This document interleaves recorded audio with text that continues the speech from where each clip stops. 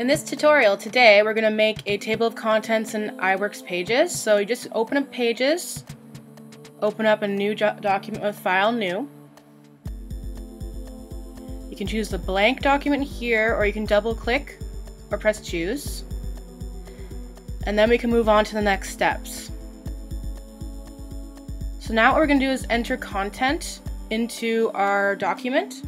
So for example, we're going to enter in chapter 1, chapter 2, chapter 3, and chapter 4. So then we're going to go to insert table of contents document. And you'll notice here that the table of contents is empty because we haven't any haven't specified any paragraph styles except for body. So now we're going to do is we're going to do it properly. So first we're going to select chapter 1 heading, go into the text styles. You can choose many styles to choose from. Right now it is body. You can choose subtitle, heading, or title. We're going to choose heading 2. So go ahead and click heading 2. So you'll see it'll be much bigger. You can specify the styles of heading 2 on the right. So what you're going to do is you're going to select the rest, go to the text styles, press heading 2. So now you see they're all heading 2 and they're all specified as a style. So what you're going to do now is insert a empty space in the beginning. And notice here that I put content under every single chapter heading. Just the regular lorem ipsum stuff.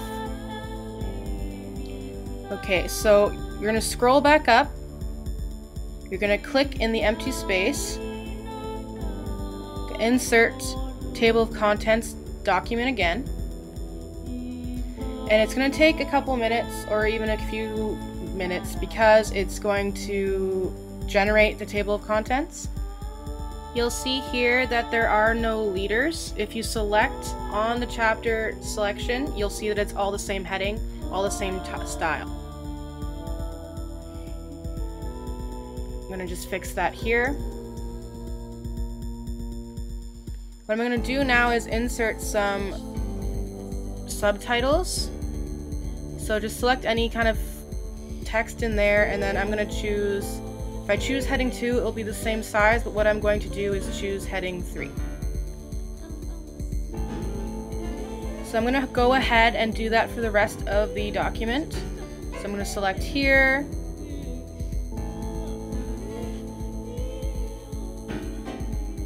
going to press heading 3. And I'm going to do that for the rest.